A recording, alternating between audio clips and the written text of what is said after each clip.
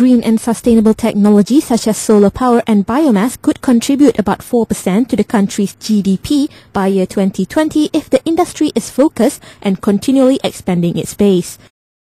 Pusat Tenaga Malaysia, PTM's national project leader, Engineer Ahmad Hadri Haris, says that within the period of two and a half years, since 2007, Malaysia has managed to gather foreign direct investments, or FDIs, relating to green technology amounting to between 12 to 14 billion ringgit.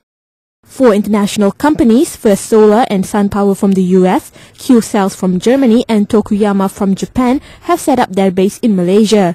Two of the companies have already started operation. That's a lot for one sector only. Don't forget, by, by having this company in Malaysia, it also creates economy in, in Malaysia.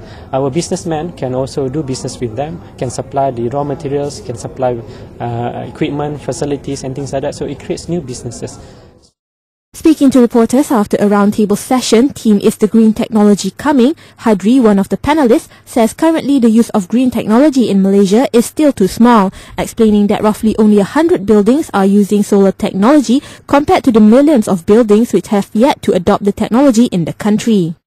To, to, to change this, that's why feed-in tariff is important. And this can only be implemented when we have this renewable energy law, which uh, the Ministry of Energy, Green Technology and Water is actually looking into it today.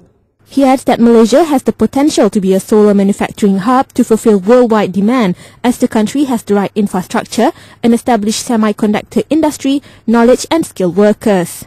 Malaysia has the potential to become a hub for solar manufacturing. Not, don't worry so much about whether we have a market or not, because the market is worldwide. There's a huge demand in Europe, in US, in Japan and China for this technology. Hadri says with full operation from the four companies, it could create some 10,000 high-level jobs. Malaysia is the number two solar technology manufacturer in the world behind China. In the roundtable session itself, the eight panelists from a diverse range of stakeholders came to an agreement that the reason to why the implementation of green technology is slow paced is due to the high costs.